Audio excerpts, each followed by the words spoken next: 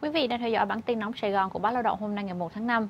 Ngay bây giờ hãy cùng Thanh Chân điểm những thông tin đáng chú ý nhất tại thành phố Hồ Chí Minh và các tỉnh thành Nam Bộ trong vòng 24 giờ qua.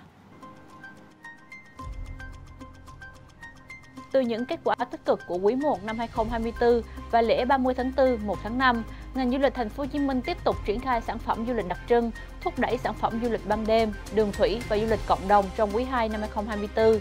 Theo thống kê của Sở Du lịch thành phố Hồ Chí Minh, dịp lễ 30 tháng 4 và 1 tháng 5, khách quốc tế đến thành phố Hồ Chí Minh ước đạt khoảng 54.000 lượt, khách du lịch nội địa đến thành phố ước đạt khoảng 325.000 lượt, doanh thu ước đạt 3.235 tỷ đồng. Kết quả này đều tăng so với cùng kỳ năm 2023. Theo Đài khí tượng thủy văn khu vực Nam Bộ, nhiệt độ của tháng 5 năm 2024 cao hơn so với trung bình nhiều năm. Nửa đầu tháng có một vài đợt mưa rào và dông trên diện rộng. Mùa mưa khả năng xuất hiện trong khoảng giữa đến cuối tháng. Tổng lượng mưa sắp xỉ trung bình nhiều năm cùng thời kỳ.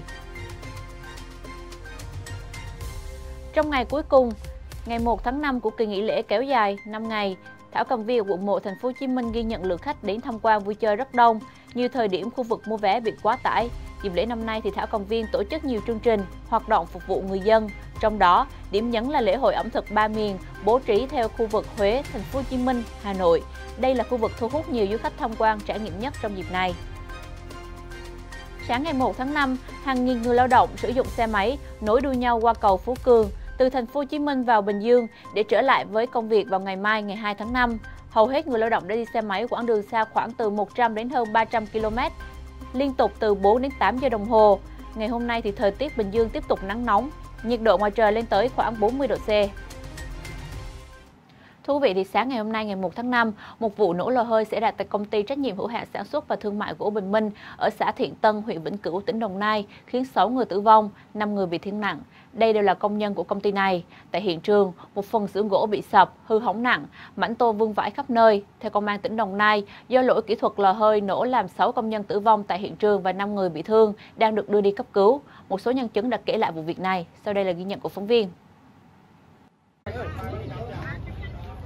thì ờ, trong thời điểm mà nổ đó là ờ, tôi đã làm hết hàng tôi mới ra ngoài sân tôi ngồi.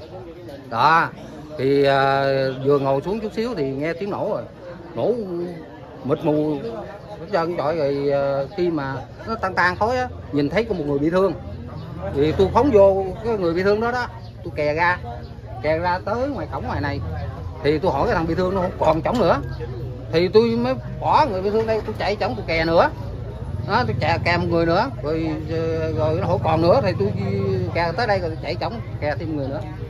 Rồi tôi kè được ba người. Rồi vậy là xong rồi những người chết phía trong là tôi không vô được.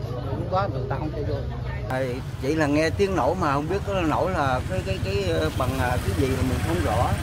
À, thì ờ, tới khi thằng con thứ hai tôi nó làm trong đó nó đi ra. Nó nói là thằng à, mon chết rồi tức là con rể tôi á chưa chưa có thông tin tại vì tôi vừa chạy đi ra đi kêu con gái tôi thì tôi đi hết nổi Thông tin vừa rồi đã khép lại bản tin nóng Sài Gòn của chúng tôi. Bản tin sẽ phát sóng lúc 19 giờ hàng ngày trên lao động.vn. Còn bây giờ, xin chào và gặp lại.